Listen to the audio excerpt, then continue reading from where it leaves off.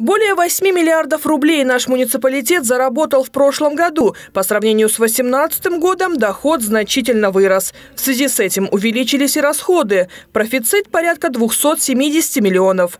Основная статья доходов, как и прежде, это налоговые поступления. Налоговые доходы бюджета были сформированы пятью видами доходных источников. Это налог на доходы физических лиц, доходы от уплаты акцизов, налог, взимаемый в связи с применением упрощенной системы налогообложения, единый налог на вмененный доход для отдельных видов деятельности, доходы от применения патентной системы налогообложения государственная пошлина. Наибольший удельный вес в структуре налоговых доходов бюджета в 2019 году составил налог на доходы физических лиц. Это 64,1%. Сотдокладчики начальника финансового управления подробнее рассказали о муниципальных программах, на которые в прошлом году были потрачены бюджетные средства. Так, на систему образования в 2019 было выделено почти 4 миллиарда рублей. Сеть образовательных организаций стремительно развивается. В прошедшем году были открыты Лопатинская школа на 1100 мест, второй корпус Бутовской школы номер один на 1375 мест. Открыто три новых здания дошкольных организаций. Третий корпус детского сада номер 2 «Колобок» на 200 мест. Второй корпус детского сада номер 27 «Бобренок» на 140 мест.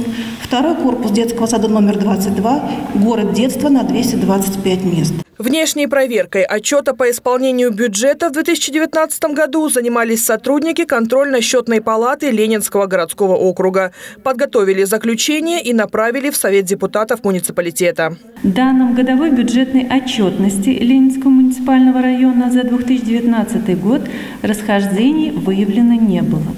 Отчет об исполнении бюджета за 2019 год представлен администрацией Ленинского городского округа с соблюдением требований по объему.